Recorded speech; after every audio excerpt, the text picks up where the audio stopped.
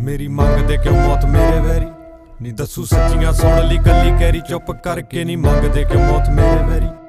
ਪਹਿਲੀ ਗੱਲ ਕਿ ਕਿਸੇ ਨਾਲ ਮੇਲ ਜੋੜ ਨਹੀਂ ਮੇਰਾ। ਬੜੇ ਕਾਰਨ ਡੁੰਗਿਆ ਤਾਂ ਹੀ ਟਕਿਆ ਚਿਹਰਾ ਨਹੀਂ ਕੱਲਾ ਤੁਰਿਆ, ਕੱਲੇ ਨੇ ਰਾਹ ਵੱਖਰੇ